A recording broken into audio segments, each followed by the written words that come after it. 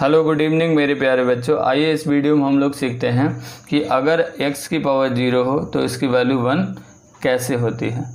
ठीक है ना? क्लियर है? तो आइए सीखते हैं। तो इसका एलएचएस ले लीजिए। तो एलएचएस इसका कितना है? एलएचएस अगर मैंने, मान लो मैंने ले लिया तो यहाँ से बनेगा एक्स की पावर कितना? ज़ीरो और एक्स की पावर ज़ीरो को आप ऐसे भी लिख सकते हैं। देखो एक्स की पावर वन माइनस वन समझ रहे हैं आप? अगर बीस दोनों का नंबर्स का सेम है तो देखो, इसको ऐसे लिखा जा सकता है एक्स की पावर माइनस वन ठीक है ना?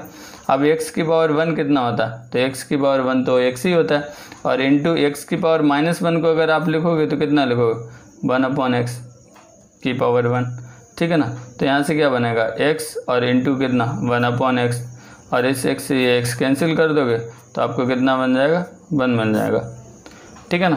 तो मैं उम्मीद करता हूँ आपको ये बात बहुत अच्छे से समझ में आ गई होगी और अगर आपको ये बात समझ में आ गई है, ठीक है ना? तो वीडियो को लाइक करिए, इसको आगे बढ़ाइए और लोगों को भी बताइए कि एक्स की पावर ज़ीरो की वैल्यू वन कैसे होती है।